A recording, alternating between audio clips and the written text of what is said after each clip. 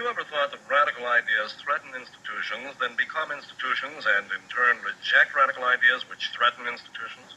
No. Gee, for a minute I thought I had something